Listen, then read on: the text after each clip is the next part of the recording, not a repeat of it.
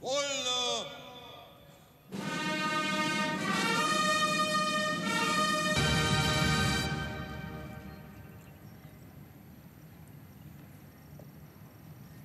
В эти дни вы сражаетесь за наших людей на Донбассе, за безопасность нашей Родины, России. Россия всегда выступала за создание системы равной и неделимой безопасности. Системы, которая жизненно необходима всему мировому сообществу. В декабре прошлого года мы предложили заключить договор о гарантиях безопасности.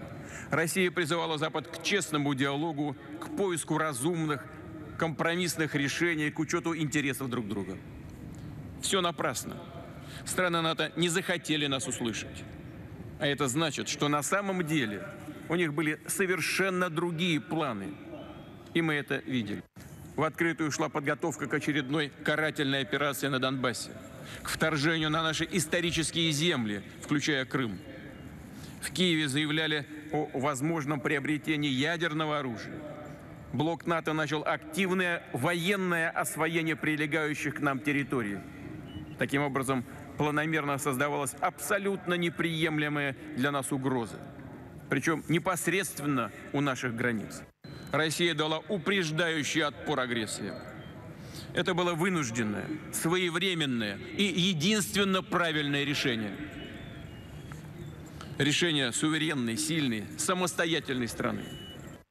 Соединенные Штаты Америки, особенно после распада Советского Союза, заговорили о своей исключительности. Унижая тем самым не только весь мир, но и своих сателлитов – которым приходится делать вид, что они ничего не замечают, и покорно все это проглатывать. Но мы другая страна. У России другой характер. Мы никогда не откажемся от любви к родине, от веры и традиционных ценностей, от обычаев предков, от уважения ко всем народам и культурам. А на Западе эти тысячелетние ценности, судя по всему, решили отменить. Такая нравственная деградация стала основой циничных фальсификаций истории Второй мировой.